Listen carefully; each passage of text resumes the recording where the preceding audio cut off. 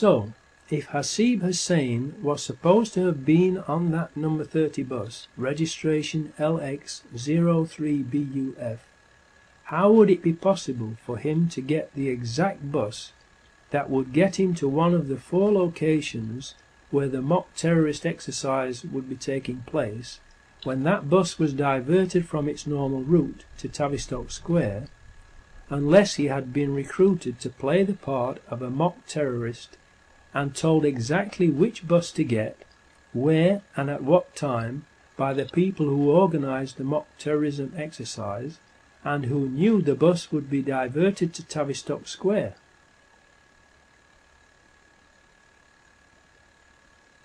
The odds against that happening by coincidence are unbelievable, and thus it is not possible that it was a coincidence. Another unbelievable coincidence is that all of the CCTV cameras at all four of the blast sites were not working that day. The four CCTV cameras on the number 30 bus were, just like the Israeli Verint Systems ones on the Underground, not working, and there are no reliable witnesses who can place Hasib Hussain on the number 30 bus.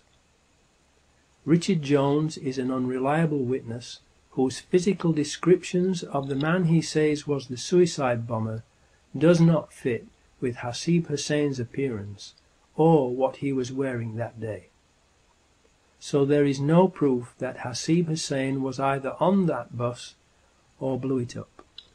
Even so, he has been tried and wrongfully found guilty of blowing up the number 30 bus by the government organized and controlled media machine without a shred of real evidence.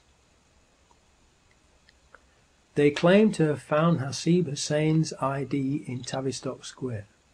However, they also claim that ID from another of the four, Muhammad Sidique Khan, was found in at least two, some reports say three, separate blast locations. He cannot possibly have been in two or all three locations at the same time, proving that these items were planted after the blasts. How could their IDs have survived suicide bomb blasts? Millions of people are aware of the magic fireproof Mohammed Atta passport that was planted at the World Trade Center on 9/11.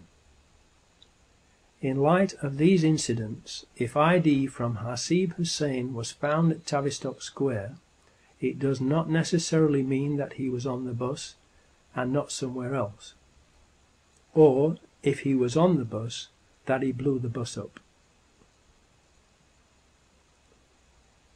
What has happened to the presumption of innocence, and being considered innocent until proven guilty, and convicted by a jury of your peers in court, that has always been the mainstay of British justice?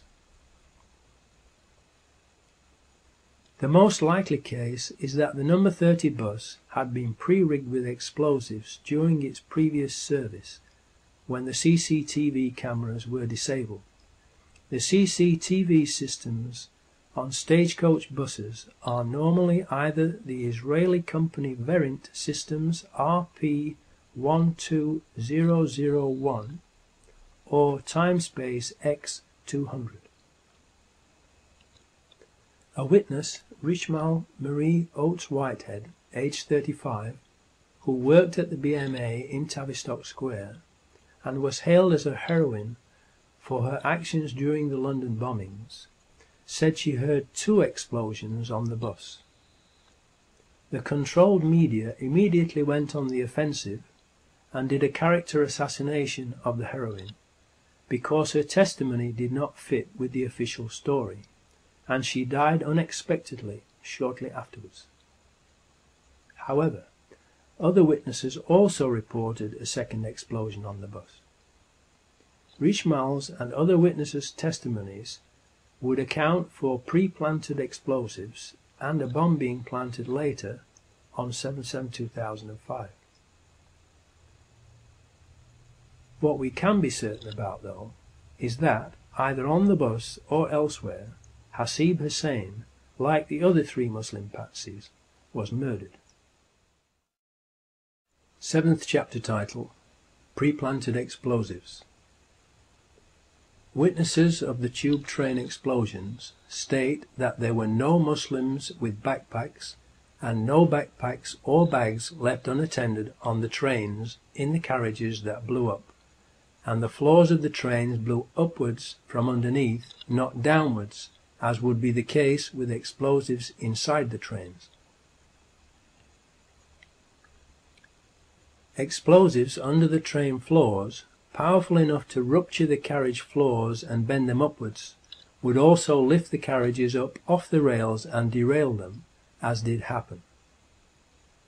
Those explosives were not homemade, but military-grade high explosives that would not be available to Muslim suicide bombers.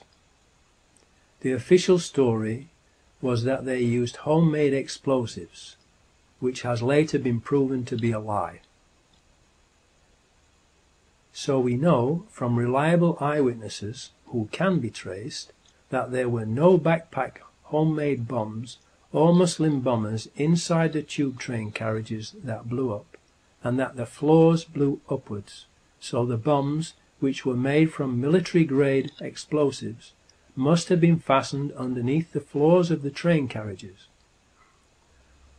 Only people having access to the tube trains during the times that the trains were not running would be able to plant those bombs under the train floors. Benjamin Netanyahu, the Israeli finance minister, said that he was warned by Scotland Yard not to leave his hotel room on the morning of 7-7-2005 before the first explosion was reported implying that they had foreknowledge of the plan. Scotland Yard then quickly denied being the ones who had provided the warning, but have not told us who did warn Netanyahu if they did not. Why was Benjamin Netanyahu warned, but not the British people who pay their wages and whom they are paid to protect? Was it because it would have spoiled their evil plan to murder British people to change the nation's mind about British troops fighting in the Middle East.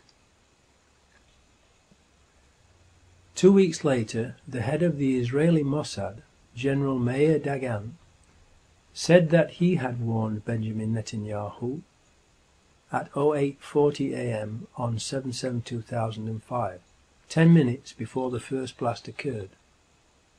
How did he know what was going to happen in London if Scotland Yard did not warn him? Did he wait to warn Benjamin Netanyahu until it was too late to warn the British people, so as not to spoil their evil plan? Was the London bombing a covert MI5 operation, or an Israeli Mossad operation, or a joint operation by both of them? The British people have the right to know.